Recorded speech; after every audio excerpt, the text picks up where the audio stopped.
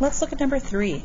A collectible baseball card is purchased January 1st, 1985 for $15, and exactly four years later it is increased to $28. Let's come up with an algebraic model of the card's value. So we know that the initial time which is January 1st, 1985, is worth $15. We know four years after this particular date, which would be January 1st, 1989, is increased to $28. So let's come up with the rate of change. So y2 minus y1 over x2 minus x1.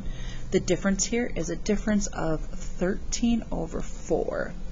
Okay, so that's the average rate of change between these two years. So we have y equals, there's your slope, and then generally we'd say take one of the ordered pairs, plug in for the x, plug in for the y, and solve for b. But in this case, if we plug in 0 for x, 13 fourths times 0 is simply 0, and b would equal 15. So y equals 13 fourths x plus 15.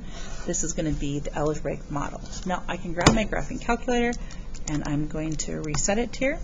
And I have 13 fourths x plus 15 all right now let's go and let's change our window. So we can see this is a difference right here of 7 okay this is a difference of 10 let's go all the way out to 15 and do a zoom fit.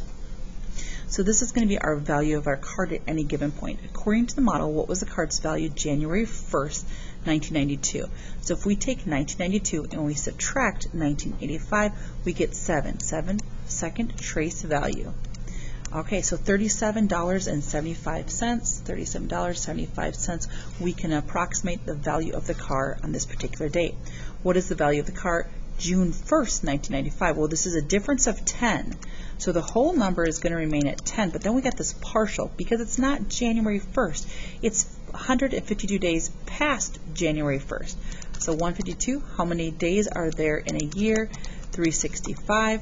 And so we can assume the car's value on June 1st, 1995 would be $48.85. How many years and days will it take until the card is worth $100? So they're giving us a value.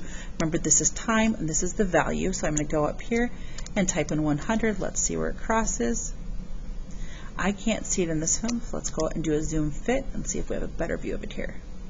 Oh, I need to go out here a ways.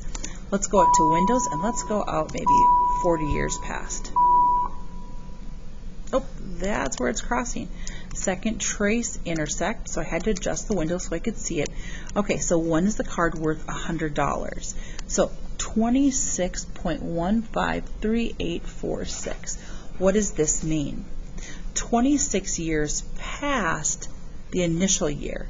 So if I take 1985 and I add it to 26, we can assume in the year 2011, and now we want to know the number of days. This is a partial year.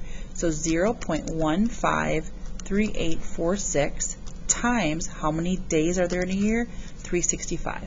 So in the year 2011 and 56, uh, we can leave it at 56, 56 days, we can assume the value of this car would be approximately $100.